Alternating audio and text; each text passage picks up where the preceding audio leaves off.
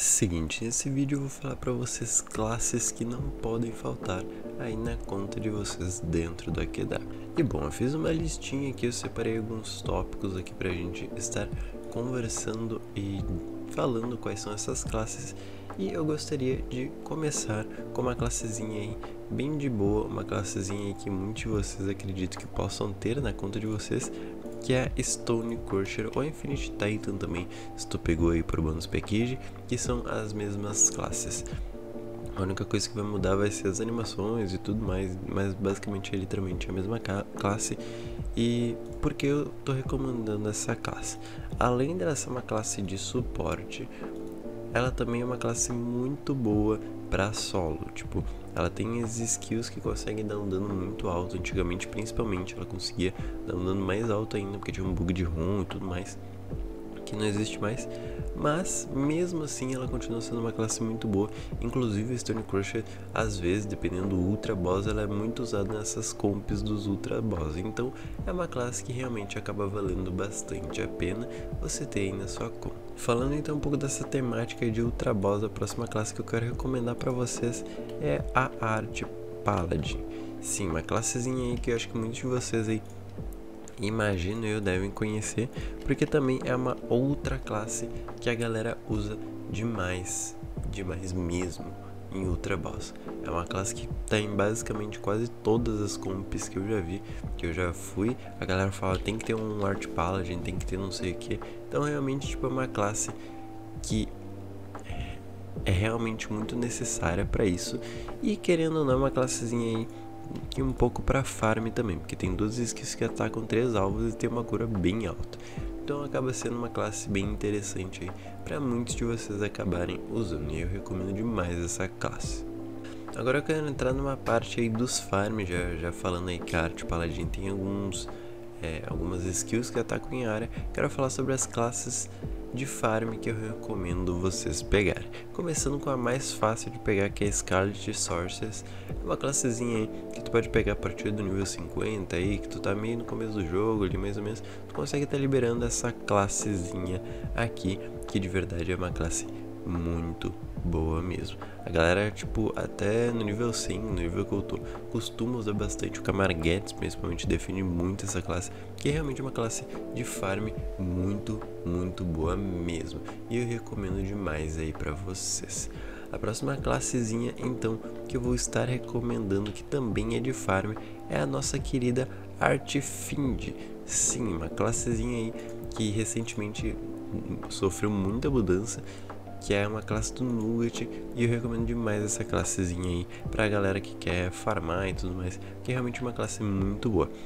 Eu tô tentando não escolher umas classes tão difíceis assim pra galera conseguir pegar uma classe boa uh, sem, sei lá, se matar tendo que gastar 6 mil ACs em uma Hero Mart, por exemplo. Que às vezes acontece, né? A pessoa comprou 6 mil de ACs, para comprar uma classe e usar quase nada. Então é melhor farmar uma classezinha aí, como essas aqui que eu tô falando, tipo a Scarlet é muito fácil de pegar, Stone Crusher é de boa de pegar também, Artifind é mais ou menos assim, mas dá pra pegar até que suave assim, então são classes que realmente valem a pena. Agora subindo um pouquinho mais o nosso nível, uma classezinha que eu recomendo demais vocês a pegarem é a Legion Revenant. Eu sei que é um hard farm aí dentro do jogo, mas é uma classe que realmente faz muita diferença na conta de vocês. Basicamente, eu hoje em dia Depende, depende muito na verdade, mas eu basicamente só uso a Revenant para muitas e muitas coisas.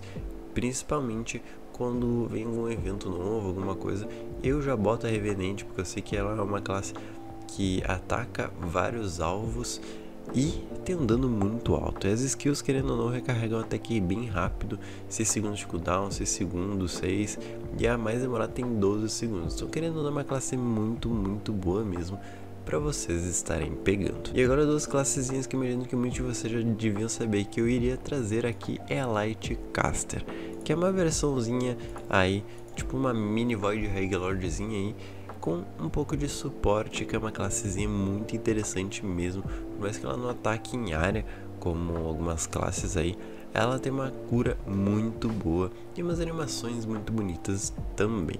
E de verdade, essa classezinha que não sai do meu inventário, sempre uso quando eu posso. Tirando o Ultra, Ultra Boss, assim, que né, é um outro nível assim. Mas eu acho que até dependendo da comp tem gente que deve usar, se eu não estou enganado, não tenho certeza disso. Mas é uma classe que eu gosto demais eu recomendo muito vocês terem. Principalmente se não tem uma classezinha como a Revenente ou uma classezinha, sei lá, muito, muito forte, a Lightcaster dá conta disso demais.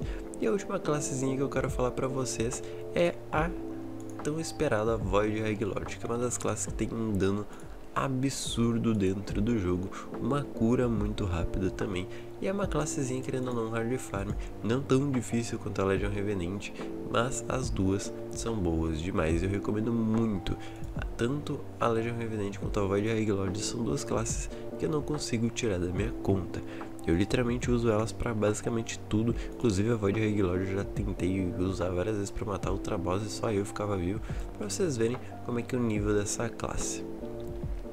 E eu quero que vocês me deixem aqui nos comentários quais as classes que vocês mais recomendariam alguns outros jogadores a terem na conta de vocês. E se você gostou desse vídeo, não se esqueça então de deixar o seu like, se inscrever no canal ainda se não for inscrito e até o próximo vídeo. Tchau!